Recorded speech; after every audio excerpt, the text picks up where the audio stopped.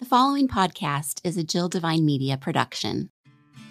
Christianity has become known for judgy people, strange words, ancient stories, confusing rules, and a members only mindset.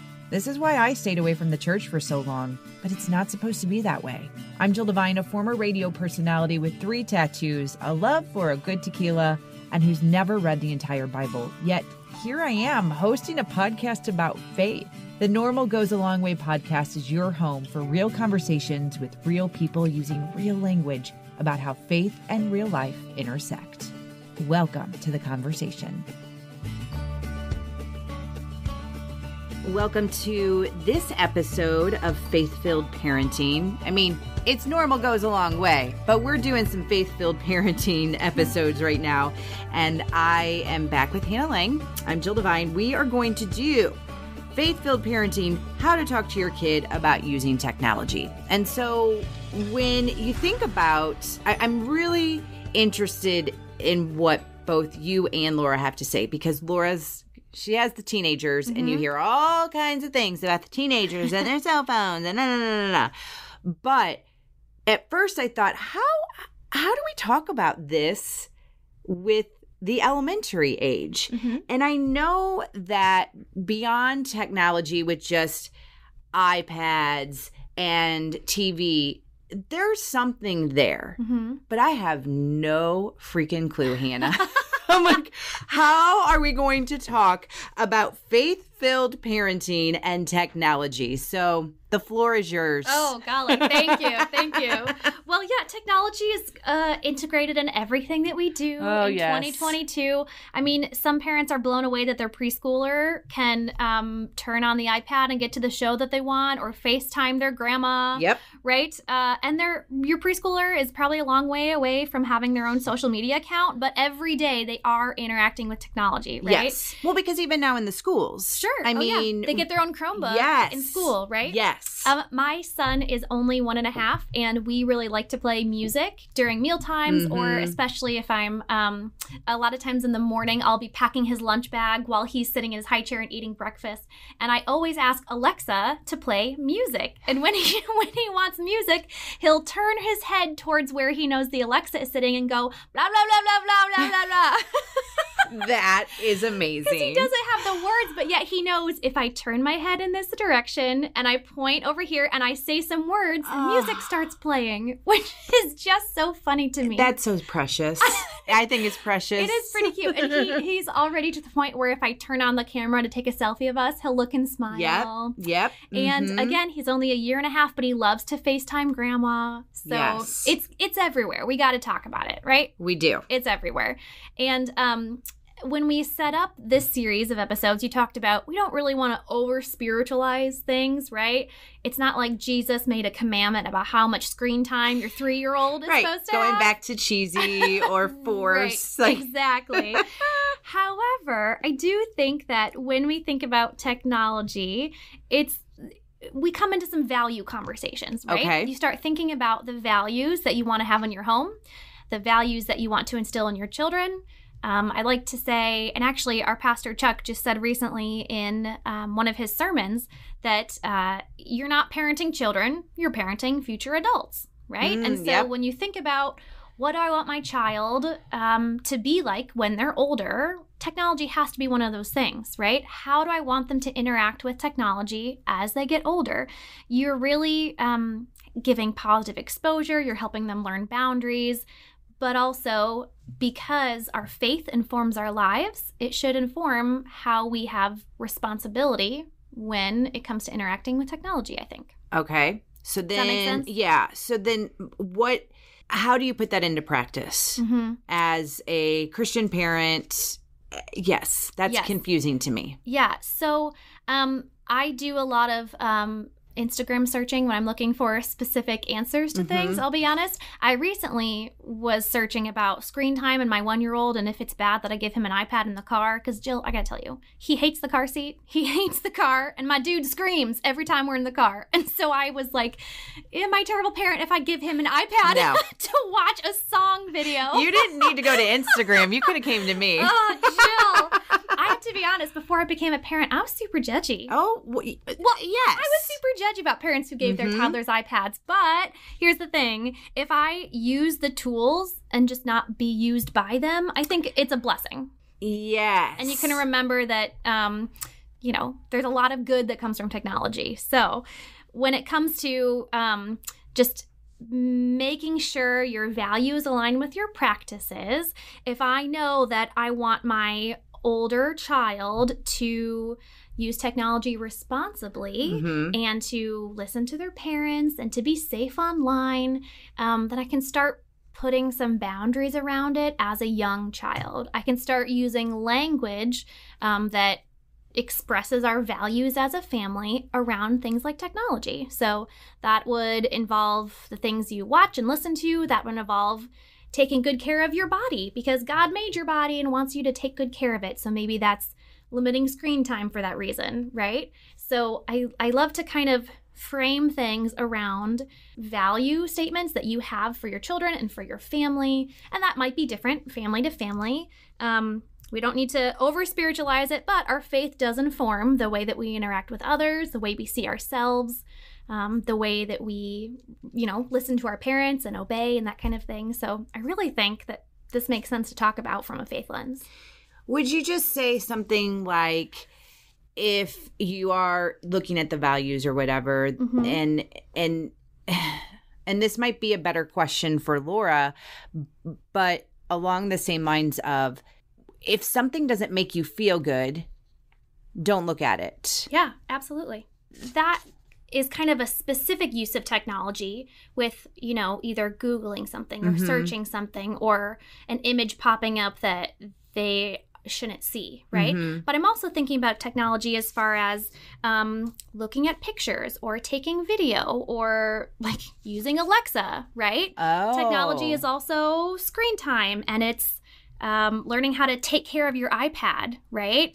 You need to be handling it with care. So, technology, Duh. yeah, I think it's a lot more than just like, you know, I caught my eight year old on a website he shouldn't be on. That's a part of that conversation for sure. But um, does It's- that make sense? Yeah, it's also respect. Yes, It's- absolutely. I did not even think about that. Yeah, buy the protection plan, people, because Play-Doh gets everywhere. so if you've got an iPad with Play-Doh and the phone jack, I feel your I feel your pain. Yeah. Okay. yeah. All right. Well, what else would you add for parents that are in this situation? I mean, mm-hmm. I'm kind of like mind blown that like, I didn't even think that how you treat your technology Hmm. is just as important as how you use your technology. Sure. Yeah. Or how you talk about it in your in your household. Right? Okay. Or how you show your children that you're using technology. We totally want to lead by example. Yes. Right. So I've got a few resources that I definitely want to share with people. Please do. Um, so I have this great timeline. It's called the Technological Responsibility Timeline. Ooh. And it's from a group called um, Orange, and they do a lot of parent resources. So it's great because it is a timeline. It goes from preschool all the way up through high school, if you can imagine a timeline. And in the preschool years, it just encourages you to enjoy the advantages of technology, but it says things like take pictures, use the tools, but don't be used by them, play online games together, um, have screen free zones or screen free time at home. So that's just kind of setting up boundaries. Maybe we use screens when we're in the car or we use screens for an hour after dinner. Kind of whatever it is you're doing in the preschool phase is just setting up some ground rules as your kids get older and have more interaction with it. Does that make sense? it does. yeah. I really, okay. Yes. Yeah. And then as they get a little older and might have a gaming account or something, your elementary student could understand things like don't ever post your home address online. So that is kind of a safety Ah. concern that has to do with technology. But that also speaks to, um, well, first you have to listen to your parents. God says to listen to your parents. I'm trying to keep you safe, right? But also, um, we want to be private and we need to be safe and we need to protect our family. But then also, we don't want to villainize it, right? You can make technology social. You could play a video game together. You could, um, you know, play online games together, all these kinds of, you could watch music videos together. you can make sure your children are having a positive experience with it as well. So you're not villainizing it. Because, like we said earlier, technology is everywhere. They're for sure going to be using it. Before we continue this week's conversation, I'd actually like to talk to you about how I'm able to even have this conversation with you. And the reason I can is because of Zencastr. Let me first explain when I first started podcasting on my own at home, I had no idea what to do. I didn't know if I should interview people through the phone, through my computer. How do I do any of this? And it was actually a fellow podcaster that told me about Zencastr. Well, when I started my podcast at home, it was right before the pandemic hit. And Zencastr was offering this awesome platform where you could record virtually, and they offered a free version. And I jumped on it, and I have been using Zencastr ever since. I have since upgraded to the professional option, which allows me to do my podcasting uh, in an easier way. So, what I mean by that is I'm able to take the episode that I'm recording, and when it gets produced, I'm able to get the transcript, which equals show notes, which equals me not having to go back through, type out a bunch of stuff to talk about what is on the particular episode that I'm recording. And here's the great thing about Zencastr you are able to try it for free. And again, I started out with the hobbyist account, which is the free version. So just know that there are options for you. But if you would like to try out the professional account, which is what I'm doing right now, here's what you should do. Go to zencastr.com slash pricing and use my code normal goes a long way. You'll get 30% off your first three months of Zencastr Professional. I want you to have the same easy experiences that I do for all my podcasting and content needs. It's time to share your story. And speaking of stories, let's get back to this week's conversation.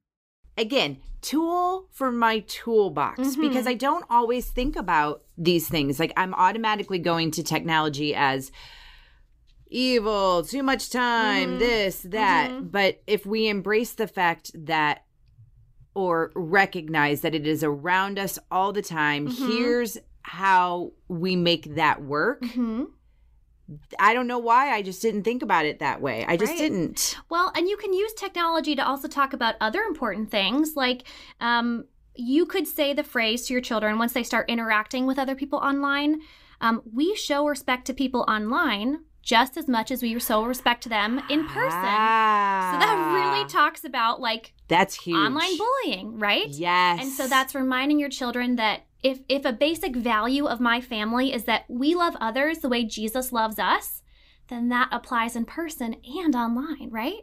Yes. So that's how it kind of connects the faith lens. And you're not just making a hard rule, but you're helping the children understand if you love people the way that Jesus loves you, that means you're respecting them, that means you're kind to them, that means you're forgiving them. Is that the same when you're posting comments online? yes. Yes, it is. Yes, it is.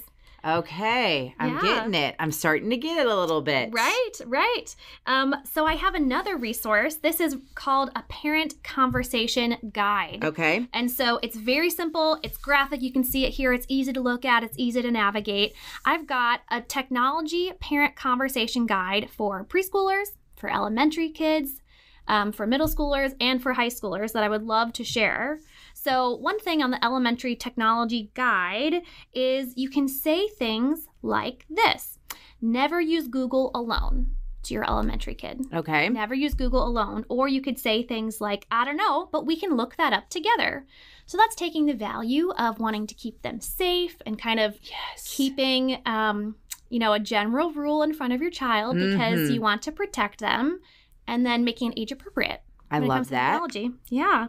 Uh, let's see. There's also you know the privacy thing we talked about never post your phone number or address online um, but also i don't know about you but already i feel like i'm behind on understanding technology stuff which is weird because i'm 31 and so for the longest time i was like the youngest in the group and i always knew all the things Oh, just wait. Oh my gosh. wait. It's Just embarrassing wait. already. Mhm. But a great way to bond with your like tween, your fifth grader or something is saying, Can you figure out how to help me do this? Even if they roll their eyes.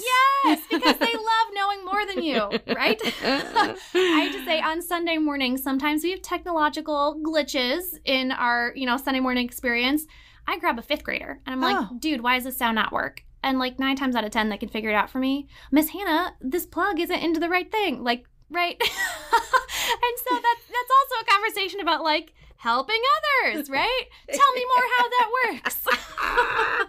That's amazing. oh yeah. Oh yeah. Oh, I love that. So, technology isn't just for entertainment, it's a tool for learning. And we can look at our use of technology with a faith lens without making it too cringy. Yeah, I like that. This is one of those topics that we talked about in the episode that we, you know, prepared people, prepared parents about that sometimes the faith conversation, the faith aspect of it, it it's little, Mm-hmm. but it does come up. It's Right. about how you treat others. It's about how you treat yourself. Mm-hmm. All right. So we will have those resources linked on the show notes at normalgoesalongway.com.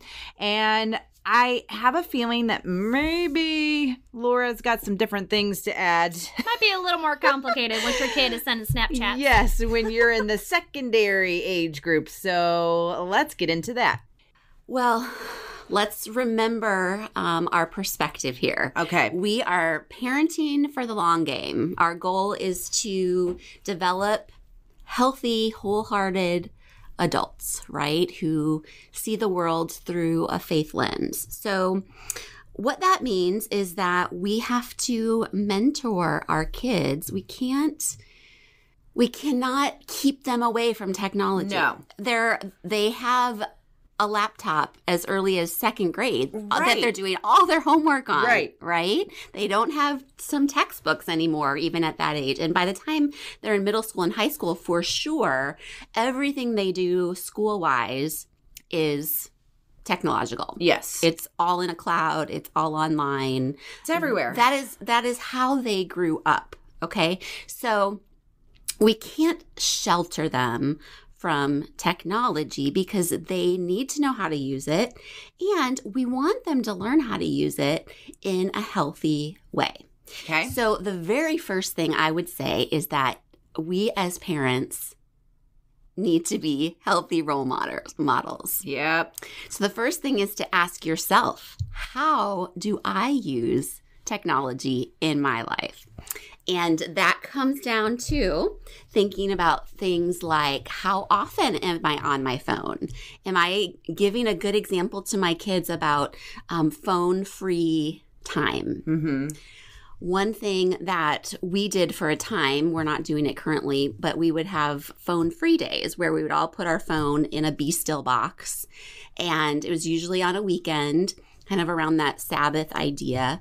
But the idea was that we can engage as a family and we can have fun and we can, you know, do lots of things without our phones. Yes. And a regular reminder of that and a regular break is good for everybody, parents and kids included. So, from the beginning thinking about how often am I on my phone and what do I do I look at my phone as a tool that I can use to make my life better or do I look at my phone as a way to escape my life and kind of my my default entertainment yes. right Yes. because we want our phones to be useful but we need to let them know our their place Yes. in our life Because so I'm in that weird spot right now where I only want to use it for to get the tasks done. mhm. Like social media and I have a really love hate relationship. And I, you know, I know it's to some people, this sounds crazy. And I don't think it is, but I will go days without looking at Instagram or Facebook or Twitter Mhm. because I know that it's can be unhealthy. yes And so sometimes it go I know this isn't about me, but I'm just saying no but it is because as the parent what your kids are seeing you do with your Yes. technology is what they normalize in their head Yeah. And I, and I just can't. Yes. So it, it does bug me when somebody will be like, well, why didn't you comment? Why didn't you like this? It, it, this isn't my life. Right. And that's important. So, one of the principles I would share is to prioritize in person communication and in person gathering over virtual. Prioritize that in your own life and help your kids prioritize that too. So, you know, our kids, um, they are constantly chatting with their friends on Snapchat or via text or they're FaceTiming, which is great. That's a way for them to stay in touch with their, their friends. But saying, hey, it's been a while since you've had your friends over to Mm. the house hmm and encouraging that over the technology. So it's great for them to know how to, to use technology, but let's we're in our family, we're gonna prioritize getting together in person. One of my best friends had told me that recently with her teenage daughter. She said it's so different than when obviously we were teenagers because there wasn't the technology, there wasn't the digital use. And she said, but you have to question when they say that this person is their best friend, but they're only chatting online. Like, Yeah. how authentic is that relationship? Let's start inviting them over. Same thing, so that we can get to know one another. And she goes, and also so that you, and I'm paraphrasing, not that you're wasting your time with this person, but when you do, it's kind of like when you're dating. You start to figure out your likes and your dislikes and all right, this isn't this isn't for me. I'm going to just step over here for a little bit. But you don't really get that online. You get it in person. Right. And you have to encourage that and foster that. So let's think about what happens when we and our kids are interacting with our phones. First of all, when you get a like on a comment or a text comes in or you see a reply to an email, what happens to you physically is actually chemical, a, a release of dopamine in your system, one of the happy hormones. And that is why um, people are so addicted to looking at social media Mm. is because of the chemical reaction that happens in your body. Like it is like getting a, a hit of, you know, being, it's like a little high that happens. And when you don't get a like or a response, Mhm. it has the opposite effect. Like you experience a loss of some of those happy hormones. So that's important to teach your kids is that you're actually experiencing, you know, positive or negative chemical reactions in your body with this device. And so it, it's so important to be careful with it. And I think to teach your kids how to have boundaries, but then give them freedom within those boundaries. Because remember, we're playing the long game here.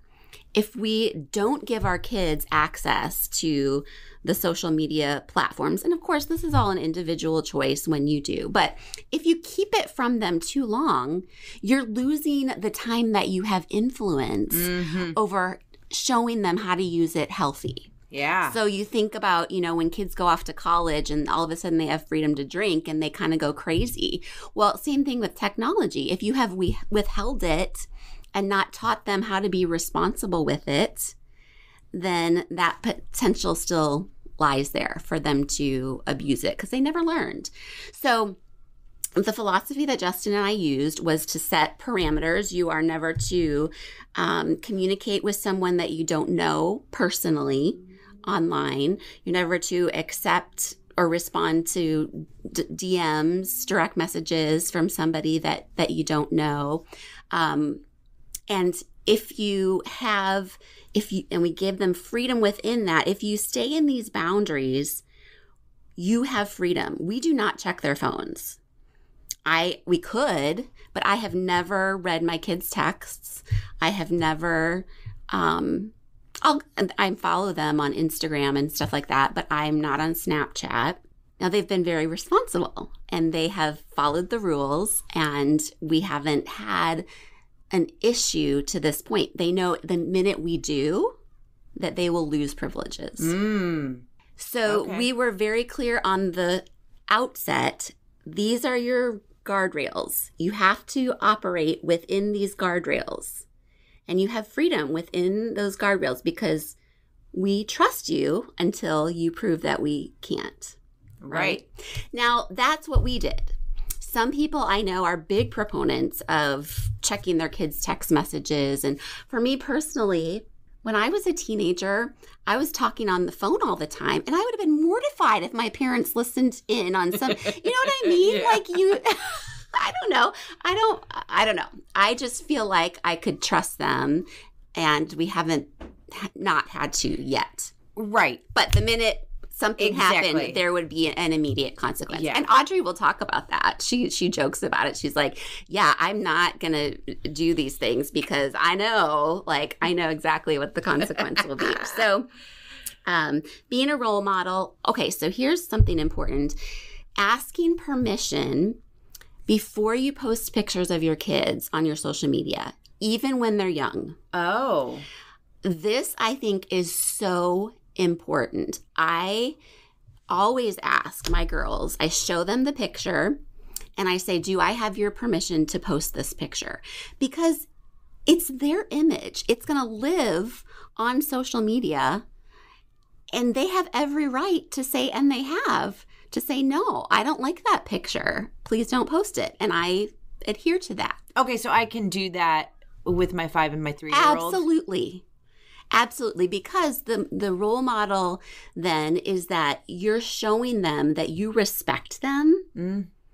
and that you're not sharing their business with with the world. I see so many parents doing this. Well, where they'll share on Facebook, "Oh, my daughter's having an issue with this friend." And and it's like, "Ah, you know, like I I just want to say what what example are you giving your kids that you're putting out conflict on social media? Do you really want your your daughter to find out that this friend knows about this thing because her mom read about it? And that will happen. That will happen. So it's like if we teach our kids that we need to ask them permission to share, then it helps them understand, oh, if I'm going to post something about someone else, I very well have better get their approval before I do that. Absolutely. Yeah. Oh. Super important. And then another guideline we have is if this is not something you would want grandma to know about or see, don't post it. I will add one thing that I overheard someone talking about one time with her teenage daughter. And she said it was the okay, someone had taken a picture of someone not a not a good thing that was happening and put it on social media.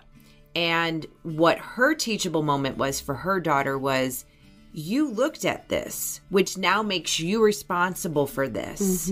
And you now have a responsibility to let whomever know. That's the other thing. And and that you when you're viewing these things too, it's on you as well. Um, and that was something I didn't even, you know, think about. it. It's like, uh, well, I didn't do anything wrong. I'm putting myself in the teenager shoes. Like, I'm not doing anything wrong. Well, by you participating and looking, By association. Yes. Yes. and that I, that hit me too. hmm One thing I will tell you is that these kids, these teenagers, they feel so much pressure in their lives already. And the added pressure of um, somebody maybe talking about them online or somebody posting a picture because they can take pictures all day long at school and post a picture of anybody. Like they could do that.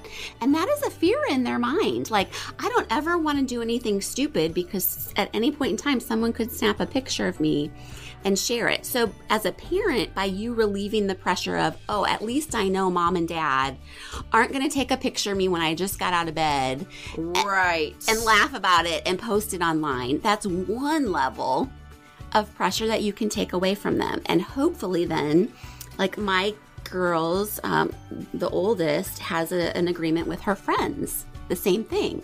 They're not allowed to post a picture of the friends unless they've approved it.